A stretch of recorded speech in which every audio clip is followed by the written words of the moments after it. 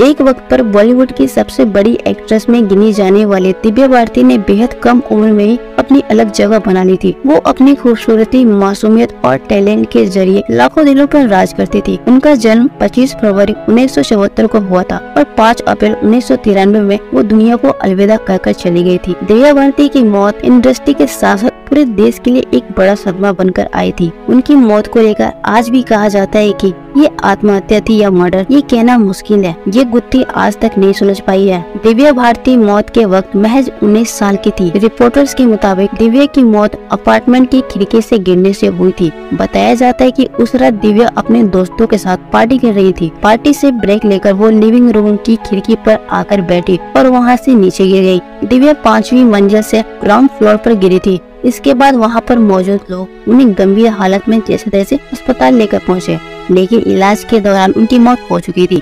Mumbai police ने दिव्या की मौत को एक्सीडेंट बताया था। हालाँकि आज भी इस सवाल का जवाब नहीं मिल पाया कि आखिर दिव्या खिड़की से कैसे गिरी। उस दौरान कुछ रिपोर्टर्स ने ये भी दावा किया था कि दिव्या का मर्डर हुआ तो कुछ में आत्महत्या का भी ज़िक्र किया गया था। दिव्या की मौत के बाद उनकी माँ का एक भाविक इंटरव्यू भी खूब सुर्खियों में था। इस इंटरव्यू में उन्होंने कहा था वो कई बार बेटी को अपने सपने में देख चुकी हैं। दिव्या की माँ ने बताया था कि उन्हें जब भी जल्दी उठना होता था तो दिव्या उनके सपने में आती हैं और प्यार से उठाकर चली जाती थी। वहीं दिव्या भले ही इस दुनिया से जा चुकी हैं, लेकिन वो अपनी फ़िल्मों के ज़रिए लोगों के दिलों में हमेशा ज़िंदा रहेंगी।